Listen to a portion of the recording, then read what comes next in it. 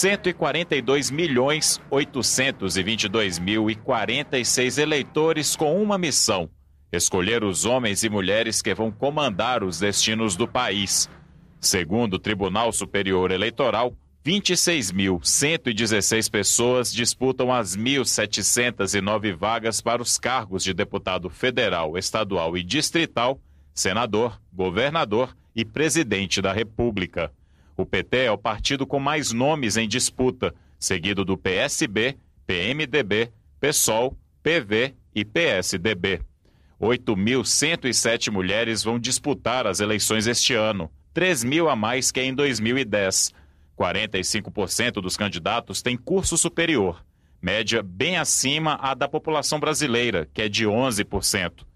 O cientista político Antônio Queiroz explica que é normal os partidos procurarem pessoas com melhor formação e que possam se expressar melhor para conquistar votos, mas que as chances de vitória são maiores para aqueles que têm recursos financeiros para investir na campanha. O padrão é esse e que passa por apoio ou financeiro, ou de instituições privadas, ou de instituições públicas.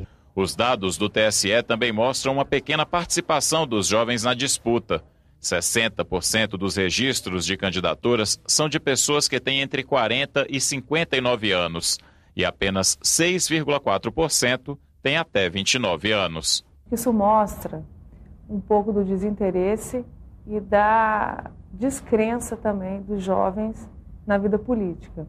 Algo que precisa ser mudado. Eu acho que o jovem tem que cada vez mais buscar a responsabilidade, assumir a responsabilidade e fazer a, dar a sua contribuição para o país para mudar o que entende que merece ser mudado. Outro ponto chama a atenção: a possibilidade de renovação significativa no Congresso Nacional. Apenas nove dos 27 senadores que encerram o mandato em 2015 vão tentar a reeleição. 18 dos que têm mandato até 2019 estão em campanha para trocar o legislativo pelo executivo, muitos com chance de vitória nas urnas, e 116 deputados federais não vão tentar se reeleger. O próximo Congresso será bastante renovado, tanto na Câmara quanto no Senado. Isso traz a perspectiva de que se crie um ambiente para a realização de reformas que não foram possíveis nesse, nesse mandato.